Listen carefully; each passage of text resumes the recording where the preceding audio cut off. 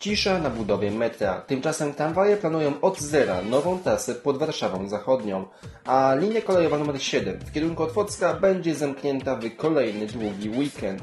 Tymczasem cały czas w Warszawie nie mamy nowego systemu biletowego, a daleko od Warszawy pojawiła się nowa miejscowość Królewiec. O tym nie tylko. W kolejnym wydaniu mniejsza z tym. W niedzielę, 4 czerwca. Zaczynamy!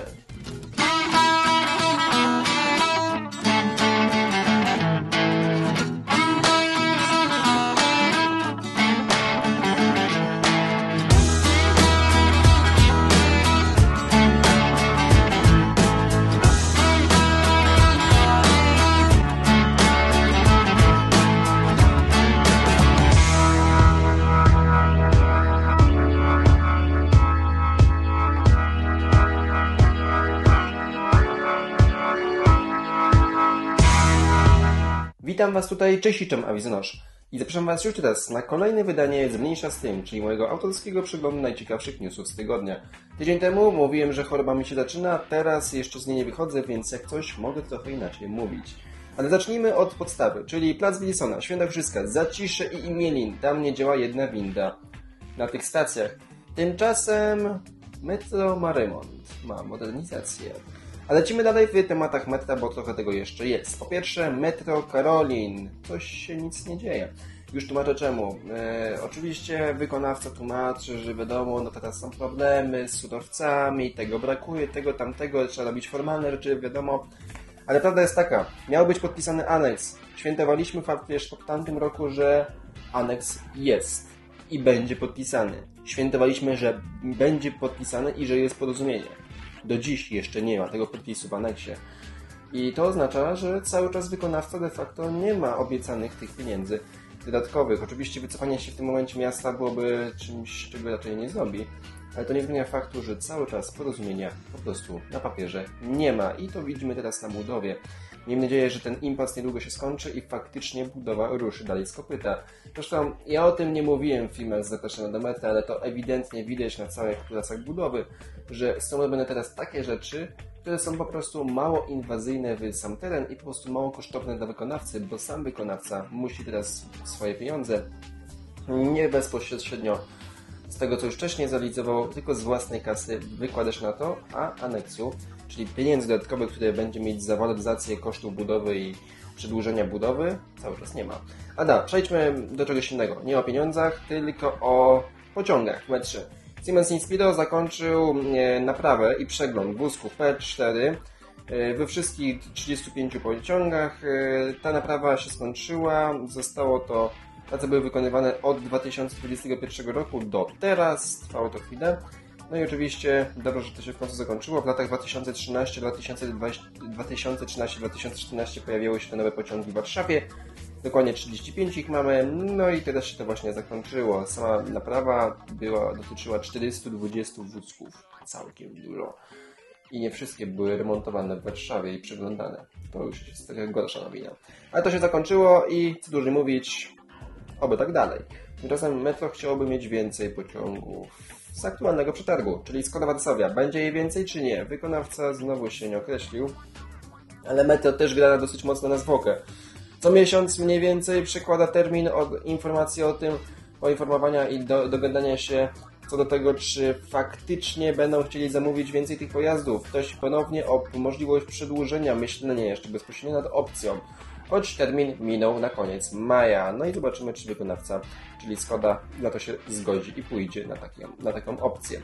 Lecimy dalej, czyli tramwaje warszawskie zmieniają warianty bezpośrednio od tramwaju pod Warszawą Zachodnią. Chodzi o to, że tam jest jeden kolektor lindi, lindiowski, który po prostu, no w dużym skrócie, nie warto go przebudowywać, bo koszt e, przebudowy będzie bardzo duży, a warto byłoby tego nie podnosić już tych kosztów budowy tramwaju pod ziemią, a to już jest dosyć duży koszt dla tramwajów. Tym bardziej, że to jest pod nas tysiąclecie budowa, bo o ten odcinek głównie chodzi.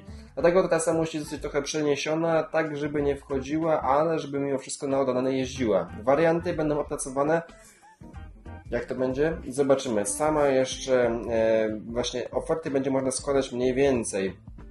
Te oferty można było składać do 29 maja, co trochę mnie zdziwiło ta nagła sytuacja i informacja od Towarzyszewskiej, że coś takiego właśnie będzie robione. No i teraz będą mieli chwilę czasu na realizację tego przedsięwzięcia, dokładnie 183 dni, czyli na koniec mniej więcej tego roku dowiemy się, czy dowiemy, y, czy i jak będzie jechać trasa tramwajowa z Warszawy Zachodniej. Raczej ważniejsze pytanie, czy pojedzie na Odolany, czy nie? Bo to jest dosyć duże pytanie. Tak, tu jest Warszawa Zachodnia, tu wyjeżdżają dwa tunele. Jeden jedzie w kierunku Kasprzaka po najmniejszej linii oporu. Bezpośrednio tutaj obok przystanku Szpital Wolski będzie wyjeżdżać. Z jednym przystankiem tutaj obok aktualnego zespołu przystankowego mniej więcej kolejowa. Natomiast druga trasa jest trochę inna. E, tutaj jeszcze jest jeden przystanek tramwajowy bezpośrednio przy Warszawy Zachodniej, podziemny do budowania.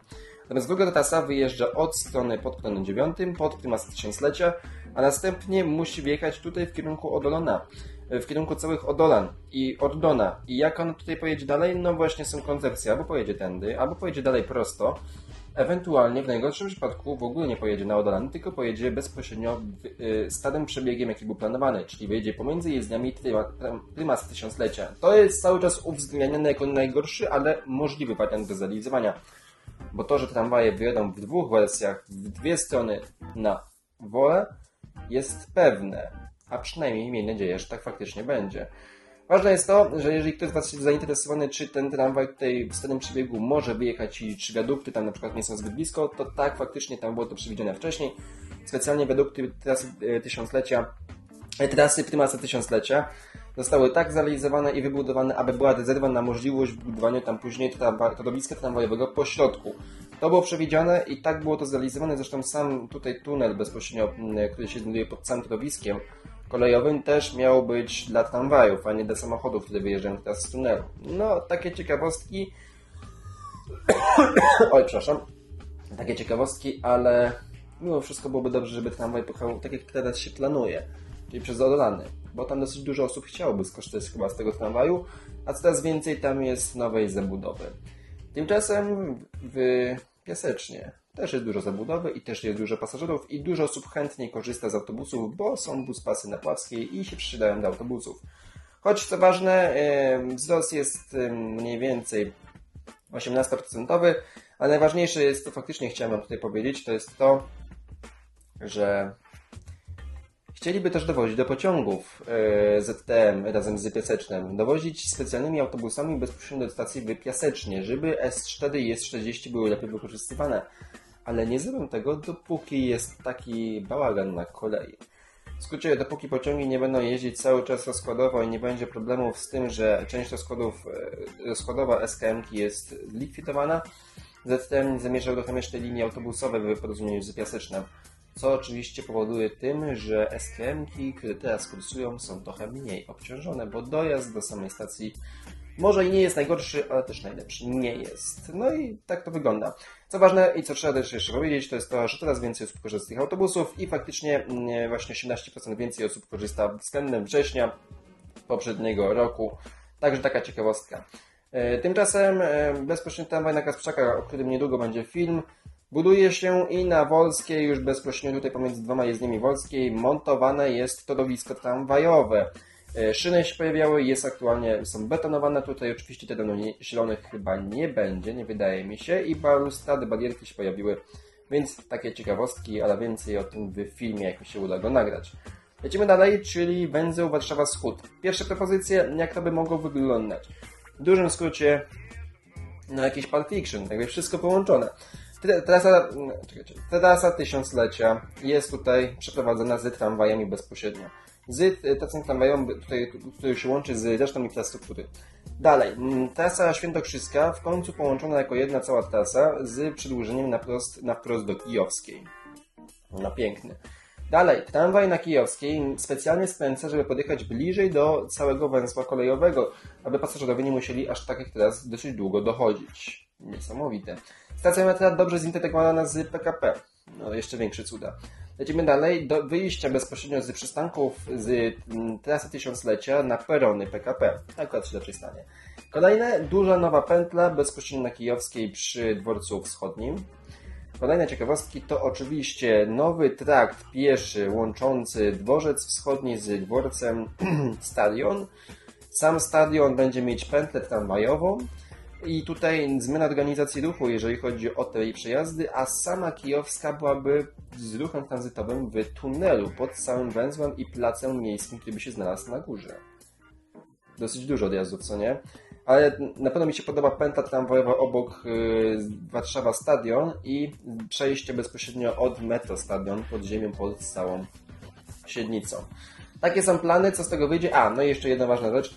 Dworzec autobusowy dalekobieżnych autobusów zlokalizowany po tej stronie, czyli po południowej stronie Warszawy Wschodniej. No, ciekawe plany, ciekawe czy z tego wyjdzie, to jest plan Warszawa Wschód, który jest przygotowany razem właśnie, znaczy jest przygotowany dla ZTM-u. Zobaczymy, czy on nie jest trochę za późno przygotowywany. PKP już kończą projektowanie całej średnicy i najbardziej oryginalny i najbardziej piękny plan, jaki mógłby być zrealizowany, zakładał oczywiście, znaczy zakłada zazielenienie tego całego prze, przestrzeni, tak żeby nad Warszawą Wschodnią był zielony dach. To oczywiście się już nie stanie, bo projekty i pozwolenia na budowę są zupełnie inne. Czy pozwolenia na budowę wszelkiego rodzaju decyzje administracyjne. Więc, no tak, tak to wygląda. No zobaczymy. Zobaczymy, co z tego węzła Warszawa Wschód faktycznie dojdzie do nas. E, przy okazji przypomnę, że to jest aktualnie ostatnie stadium, mniej więcej kończy się to całe projektowanie i niedługo może zobaczymy więcej szczegółów.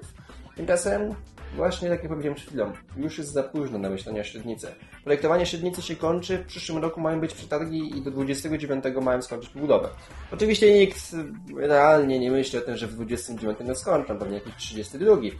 Ale to nie zmienia faktu, że oni mają już większość dokumentacji gotowej i jakiekolwiek kopanie ponownie w tej dokumentacji jest tematyczne. Ale to, że PKP i właściwie miasto pozwoliło, aby PKP cały czas zostawiło ten wielki parking nad, właściwie obok Alei Zenickich Jana Pawła II, na tym styku za, przy Warszawie Centralnej, obok Warszawa Śródmieście WKD, to jest jakiś dramat. Jakby, szanujmy się, to wygląda tragicznie. Czemu tego nie mogli w końcu zakopać? Nawet zrobić na górze wielkiej płyty tylko i wyłącznie zielenią. Na pewno budynków nie będzie można tam budować, a przynajmniej tanim kosztem. PKP się tłumaczy tym, że trzeba całkowicie to zmieniać projekty i nie można byłoby utrzymać funkcjonowania średnicy, co i tak według mnie jest skuteczne, jeżeli faktycznie uda im się utrzymać, ale bądźmy szczerzy. Chcielibyśmy mieć nową, ładną średnicę na lata, czy utrudnienia przez te 5-6 lat. Na lata mam na myśli na najbliższe 50 lat. Skoro to jest jedna z większych przebudów Warszawy i całej średnicy kolejowej robionych na kilkanaście najbliższych lat, to czemu tego nie można zrobić raz a porządnie? To jest pytanie, jakie pozostawiam. Z Wami lecimy dalej na Zagrze. Ale zanim do Zagrza, to na pewno linia kolejowa numer 7. Linia kolejowa numer 7 będzie w przyszły weekend dosyć mocno odcięta, jak to powiem. Pociągi będą jeździć tylko i wyłącznie w kursach skróconych i w różnych relacjach do Warszawa, a nie jak dobrze pamiętam. I tak naprawdę w najlepszym wypadku. E, no nie, Warszawa, a nie, trochę przesadziłem. E, Otwoc, Warszawa Radość, Warszawa Wawer, Warszawa Wschodnia, Warszawa Wawer, Warszawa e, Pruszków. Takie będą relacje linii S1 w, w nazwach S1, S10 i S11. Oj, przepraszam. Co ważne, linia 521 będzie jeździć trochę częściej, żeby oczywiście móc obsłużyć to. Będą specjalne autobusy ZKA dla kolei mazowieckiej i żaden pociąg wtedy nie przejedzie na odcinku Warszawa Wschodnia, Warszawa Radość. Nic nie przejedzie. Intercity też nie przejedzie, bo tam będzie przebudowa torowiska. Takie są zmiany. O tym, czemu tak to wygląda, mówiłem ostatnio w odcinku na temat linii kolejowej numer 7. I po tym weekendzie pociągi zmienią organizację ruchu, czyli pociągi w relacji takiejkolwiek Warszawa Wschodnia, Otwock, będą zatrzymywały się na stacji Warszawa Wschodnia, Warszawa Wawer, no i dalej kolejne stacje, bez zatrzymywania się na przystankach Warszawa Gocławek czy Warszawa Olszynka Grochowska. Te przystanki będą całkowicie wyłączone z użytkowania, a Warszawa Wawer będzie mieć specjalny tymczasowy peron, gdzie będą się zatrzymywać teraz pociągi. Takie ważne informacje.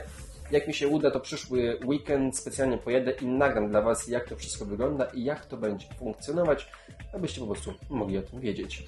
Dobrze, lecimy dalej. Teraz nad Zegrze. Nalew Zegrzyński pociągiem i tutaj nie do końca wiem, czym się chwali SKM, bo coś mi tutaj nie gra. Po kolei, e, SKM się chwali, że linia S4 dojedzie do, nad Zalew Zegrzyński do Wiliszewa. E, znaczy do Biliszewa, do Zagrze, do Zagrze Południowego. No to to jest całkowicie zrozumiałe. W czerwcu, za tydzień ma zostać to oddane do użytku, 11 czerwca się zamierzam tam pojawić i będziemy to świętować. Natomiast drugie pytanie jest trochę lepsze.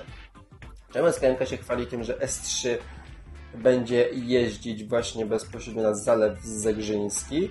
bo czegoś ja tutaj nie do końca rozumiem. Oczywiście wiadomo, że S3 będzie jechać do Racymina, relacji lotnisko Chopina Racymin. Pytanie jest tylko i wyłącznie moje, czemu oni się tym chwalą, jakby S3 jeździło normalnie właśnie na tej relacji. Czyli coś nie kojarzy dobrze. Jakby mam odczucie, że w poprzednie wakacje pociągi SKM tam już jeździły. Nie pamiętam w którym momencie przestały tam jeździć.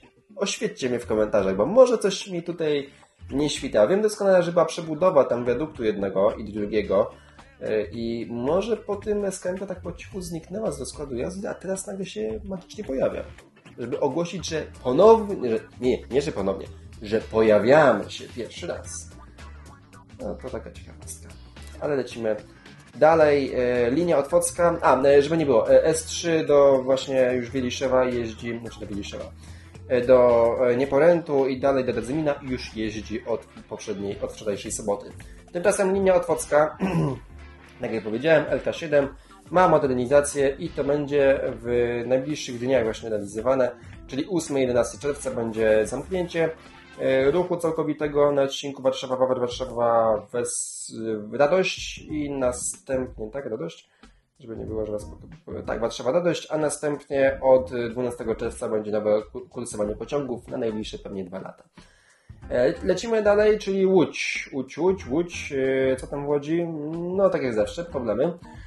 O Łodzi niedługo powinien się pojawić film w tym miesiącu, natomiast tunel w Łodzi, same problemy. Chodzi oczywiście o dogadanie się o pieniądze. E, tak, e, pieniądze, pieniądze i to są pieniędzmi. Wykonawca chciałby mieć dopłatę za to, że musi specjalnie budynki wzmocnić na całej trasie i przelokować też mieszkańców.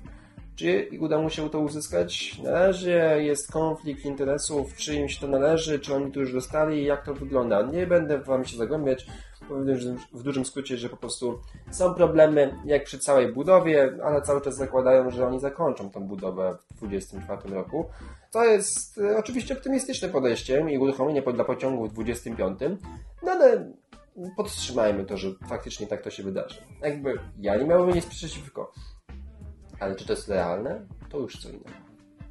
Tymczasem wielka katastrofa w Indiach. E, ponad 200 ofiar, niemal 1000 rannych. E, tak, faktycznie tutaj mam mogę, że pokażę, tylko dźwięk włączę. E, wielka katastrofa się wydarzyła faktycznie. Dwa pociągi, właściwie trzy pociągi. Najpierw jeden pociąg wjechał w pociąg towarowy, następnie część składu, część wagonu po prostu wyleciała, wyleciała z torów i pojechała bezpośrednio na tory przeciwległe, przez co wpadły pod drugi ekspres, który tam jechał mniej więcej 130 km na godzinę. Jeden i drugi jechał 130, najpierw jechał pociąg towarowy, później część wagonów wpadła pod ten drugi pociąg. W skutku tego 233 osoby są e, zginęły w tym miejscu. Dużo więcej rannych oczywiście, tak jak już powiedziałem przed chwilą. No i co najważniejsze, o czym trzeba powiedzieć, to cały czas może być więcej mimo wszystko danych. To są informacje, jak dobrze pamiętam, sprzed już chyba dwóch dni, więc e, to się jeszcze wszystko, no sprzed jednego dnia, ale to się wszystko jeszcze może niestety powiększyć. Największa katastrofa kolejowa od kilkunastu ładnych lat. E, tak to się dzieje, wszystkie służby tam zostały postawione, ale warto było, e, chciałem Was tutaj poinformować, że taka katastrofa się w międzyczasie właśnie pojawiła. Jak widzicie, dosyć to ciekawie wygląda. Że nieciekawie to wygląda. Filmik niestety mi się nie chce załadować, więc nie pokażę Wam, ale w internecie jak szybko sobie znajdziecie. E, lecimy dalej, czyli odbudowa na Sedlczaka. Czyli trasa Łazienkowska na dole rondo, zmiany, zmiany. Oczywiście linia 107, 109, 159, 171, N33 i N83 będą jeździć objazdami, bo tam są zmiany teraz organizacji ruchu. Organizacja ruchu, tak jak na załączonym obrazku, taka organizacja ruchu będzie do końca wakacji. Chodzi tam o jakiś ruch wahadłowy. E, dalej lecimy, czyli 211 również na zmianie trasy, bo kanalizacja będzie robiona na Myśliborskiej. Tam będą prace właśnie robione, e, znaczy nie będzie robione, tylko będą robione prace. E, no i właśnie 211 będzie jeździć trochę inną trasą. Dal... Mm, Nawet będzie jeździć Z12, Z11. Wow. E, lecimy dalej, czyli Warszawa ciągle czeka na nowy system biletowy. Kiedy? No, ja to nie wiem. E, na razie czekamy. Na razie jest Mobi Warszawa, którą możemy sobie zeskanować kodem QR i otworzyć bramki. I przy tym pozostaniemy. E, zatem stwierdziłem, a właściwie miasto, że trochę za drogo to wyszło. Na razie wszystko, co było możliwe w ramach wymiany i przetargów, przekroczyło budżet po prostu. To było nawet 300 milionów złotych za samą zmianę systemu aktualnego biletowego. Dlatego na razie jest jak jest. Choć nie ukrywam, że nowości mogłyby nie być złe, ale na pewno u nas jest lepiej niż w Krakowie. Bo u nas w Warszawie możemy jechać na tej samej karcie miejskiej zarówno autobusem, tramwajem, metrem czy pociągiem. A w Krakowie jeszcze nie. Jeszcze, bo może to się niedługo zmieni. Jest pomysł, aby trochę inaczej tego podejść. Jeżeli mi się uda to bezpośrednio całą formalizację zrobić, to jeżeli będzie się mieć kartę miesięczną, dobową, e, znaczy kartę miesięczną lub bilet dobowy, trzydniowy, weekendowy i tego typu okresowe, dłuższe niż dobowe na pociągi. Będzie się można też również poruszać e, bezpośrednio komunikacją miejską, czyli autobusami i e, tramwajami w całym mieście. Czy im się to uda zrobić? Miejmy nadzieję, że tym razem już tak. Były pomysły, żeby trochę to inaczej wyglądało, żeby to było tańsze, ale na razie się nie udało. Zobaczymy, jak to będzie wyglądać. Tymczasem możemy zobaczyć, że most na Pragę faktycznie powstaje. O na Pragę będzie w kolejnym miesiącu film. No ale tak to wygląda. Faktycznie zaczynają się pojawiać już przęsła bezpośrednio nad Wisłą, czyli całkiem bym powiedział ciekawie to wygląda. Bardziej spektakularne elementy, ale spokojnie spektakularnych elementów jeszcze trochę przed nami będzie. Między innymi do 2024 roku wymiana 2000 słupów od latarni. Już nie te stare betonowe, tylko ładne metalowe. Tak, takie faktycznie nowości od ZDM-u i to tyle, jeżeli chodzi o ZDM, ale spokojnie. Trochę więcej ciekawostek bezpośrednio o placu Defilat. Nowy plac Defilat, który będzie ładniej wyglądać będzie mieć też zarys starych kamienic, które tutaj były, zarys starych ulic, które będzie można zobaczyć. No tego nie widać na tej wizualizacji, ale będą różnego rodzaju, znaczy nie, w sumie widać. Będą różnego rodzaju e, kamienie zrobione w ten sposób poukładane, aby było widać, gdzie były kiedyś przed budową jeszcze Pałacu Kultury, kamienice, ulice i tak dalej. Możecie to zobaczyć tutaj. E, jeśli część z Was nie wiem, to pod budowę Pałacu Kultury i Nauki kilkanaście, nawet kilka, nie, kilkanaście, kilkadziesiąt kamieni zostało specjalnie wyburzonych po wojnie w celu wybudowania tego wielkiego budynku. O tym, czy on powinien być, czy nie, już nie raz się z Wami spytałem w sondażach i tak dalej. Nie mnie o tym decydować, tak? Ważne jest to, że faktycznie zostało tego dużo wyburzone, ale trzeba pamiętać o tym, co to było wcześniej. Jak Warszawa wyglądała. No i do tego plac Defilat będzie wyglądać trochę lepiej, trochę źleniej i nie będzie tam miejsc parkingowych, a będzie przestrzeń dla ludzi. To jest na pewno na duży plus.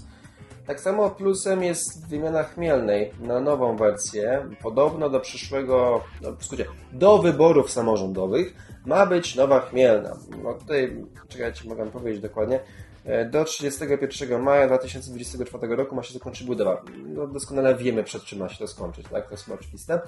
E, ale najważniejsze jest to, że nowa chmielna, no więcej drzewek i tak dalej. No i na wizualizacjach wszystkie budynki zostały magicznie wyremontowane na całej chmielnej.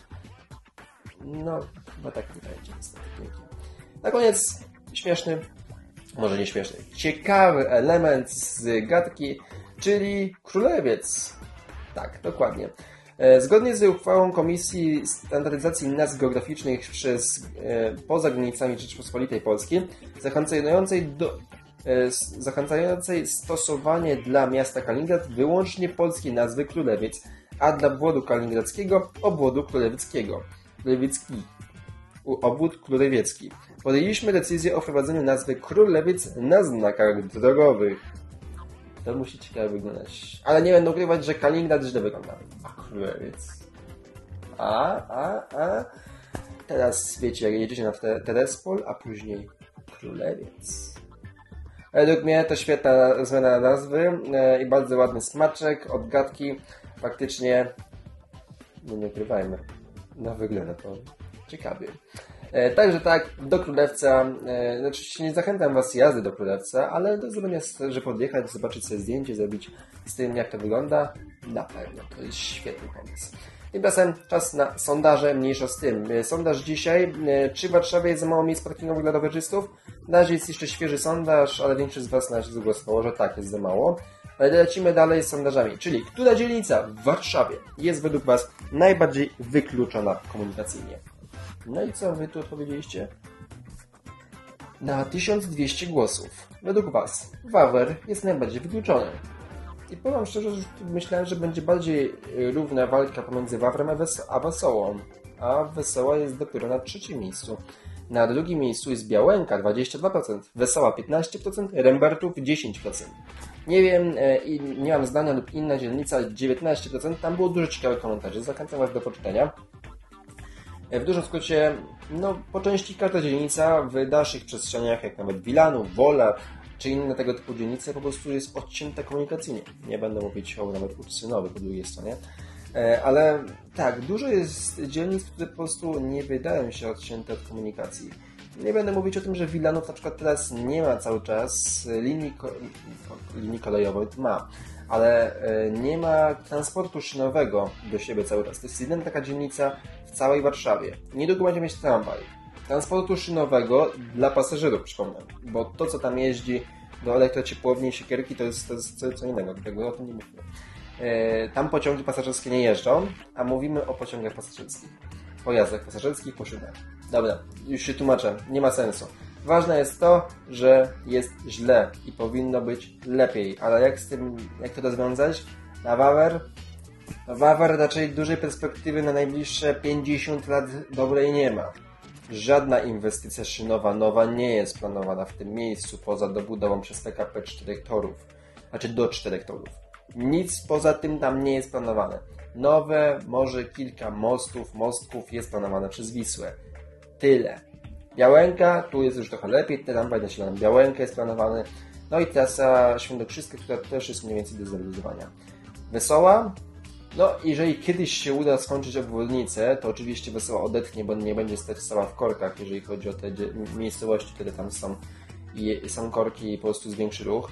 Jeżeli powstaną wszelkiego rodzaju przejazdy nad liniami kolejowymi, ale Wesołej poza przejazdami nad linią kolejowymi, nad liniami kolejowymi, nad linią kolejową, właściwie e, budową, nie wiem, budową to nie, puszczenie nowych SKM-ek maksymalnie, które miałaby jechać właśnie bezpośrednio tam z Orzema Mazowieckiego, to są jedyne rzeczy, jakie tam mogłyby się zmienić. Tam też nic nie jest planowane. Do 2050 roku Wesoła i Wawer nie mają żadnych nowych inwestycji planowanych.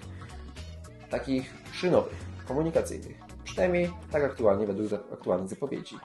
O Rembertowie nie powiem, bo tam teraz, wiecie, wiadukt zaczynają budować, to jest po prostu szaleństwo. Oczywiście nie na Marsa, ale zawsze dobre coś. O tym też niedługo film. E, No i na koniec jeszcze jeden sondaż, czyli czy budując nowe stacje metra powinny być wyjścia na wszystkie przystanki tramwajowe i autobusowe bezpośrednio. Tak jak na przykład mamy na dworcu Leńskim, gdzie jak dobrze pamiętam mamy albo 12 albo 14 wyjść. Na prawie każdy przystanek autobusowy i tramwajowy można na spokojnie wyjść. Podobnie jest na rondzie ONZ. Czy tak według Was to powinno wyglądać? Na 1100 głosów większość z Was, bo 85% z Was zagłosowało, że tak. To jest swoją drogą jeden z bardziej rekordowych e, sondaży na jedno, jednomyślność odpowiedzi. 9% z Was zagłosowało, że nie. Na nie wiem lub nie mam zdania 5%.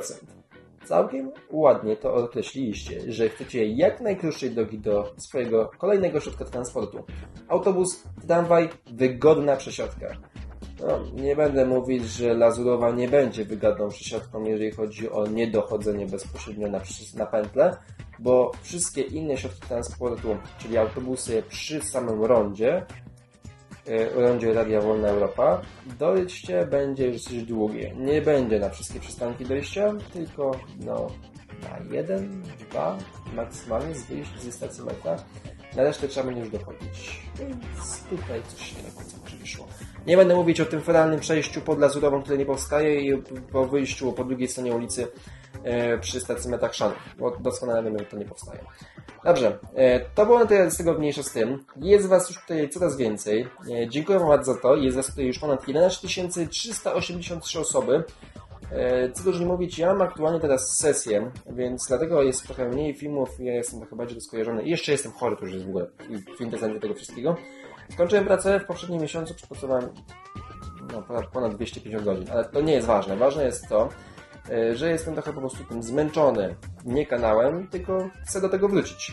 I miejmy nadzieję, że w tym miesiącu uda mi się wrócić z tymi filmami, które czekają już długo dla Was na publikację. Między innymi film na temat Gdańska, który czeka i niedługo się pojawi. Okiem Awiznosza ponownie wróci z tym, co jest dla Was ważne, czyli po pierwsze film jeden z Warszawy dla Was czeka, Wrocław i jeszcze parę pomniejszych filmów na temat Centralnego Portu Komunikacyjnego, które się jeszcze nie pojawiły. Oczywiście nowe intro z mniejsza z tym też się pojawi w tym miesiącu i mam nadzieję, że już w kolejnym tygodniu będzie. No i oczywiście dużo innych ciekawych filmów. Łódź, Warszawa i dużo planowanych inwestycji. Między innymi tramwaj na Rakowieckiej, nowe wiadukty, Nowa Chmielna, nowy plac defilat, czy inne inwestycje, które Was interesują. A jak macie jakieś szczególne inwestycje, które chcielibyście zobaczyć na moim kanale, bym się nimi zajął, przejrzał i nagrał dla Was właśnie w te najbliższe całe wakacje. Wakacje liczę od czerwca do końca września. Napiszcie mi to w komentarzach. Ja przeczytam wszystkie komentarze, zresztą tak jak zawsze czytam wszystkie komentarze, nawet jeżeli trafiają do mnie do spama ja wszystkie czytam i później analizuję je. I dajcie mi znać, co chcielibyście zobaczyć i czego może nie chcielibyście widzieć. Nie no, tego drugiego nie. Jakie inwestycje chcielibyście zobaczyć? Dajcie mi znać i do zobaczenia wkrótce w kolejnych materiałach na moim kanale. Tak jeszcze myślę, coś mam do powiedzenia, ale, ale chyba nie. No, czerwiec powinien być całkiem ciekawy. Cześć!